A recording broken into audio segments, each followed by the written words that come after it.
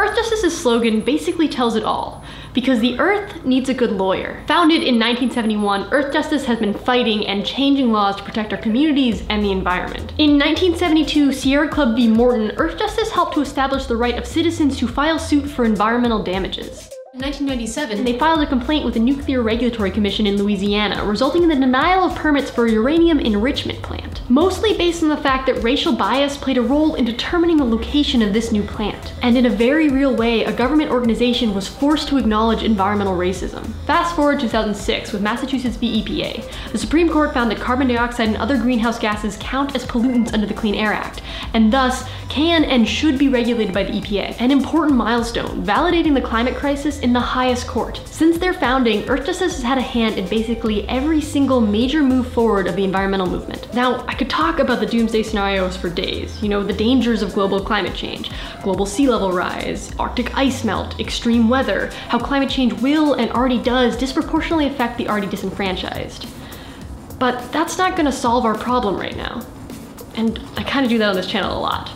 Right now, what we need is action. There are countless fantastic environmental orgs in the US and internationally, and if you want to learn more, I've got links, loads of them, check them out. But I want to focus on a really powerful way to help protect the environment. There are very few ways that can create rapid, real change, and winning a lawsuit forcing a corporation, organization, or whatever actor is poisoning our air or our water or the climate is one of the surest ways to make that stop now. Earth Justice's lawyers hold the government and institutions accountable, working on behalf of the Earth and future generations. They've got three main points of focus. Preserving the wild, healthy communities, and clean energy and a healthy climate. They fight for everything, from defending the Endangered Species Act to the right of citizens to know what toxins are released in nearby pesticide spraying, and ridding the US of one of the largest polluters there are, coal plants. Earth Justice has fought thousands of legal battles, representing a diverse spectrum of individuals and organizations. Each year, they're pursuing about 400 active legal cases.